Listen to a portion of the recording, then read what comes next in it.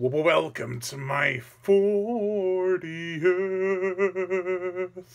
unboxing video.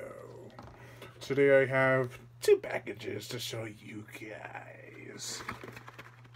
So let's just dive in with the first one here. I'm, I'm guessing it's a book. I'm not sure though. It might not be. Two Blu-rays and a CD. I'm wrong. I can admit it. We've got Assault on Precinct 13. One of John Carpenter's much earlier films. I wish I had the slipcase. Then I have Behind the Mask, The Rise of Leslie Vernon on Scream Factory's Blu-ray. Nice. I've been meaning to watch this. Now I've got an excellent reason to. And the CD is... Ooh! Another John Carpenter film. Escape from New York. I honestly forgot I ordered this. So that's really cool. On the box. What's what's what's in the box? What's what's what's in the box? Box box box.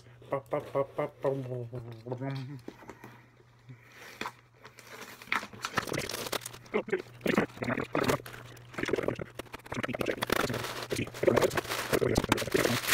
and it's, it's crowded in paper amongst paper amongst motherfucking. And to top it all off, it's in a Walmart bag. And oh my goodness, it's in another box bag thing. Right. Yes! it is It's Alive!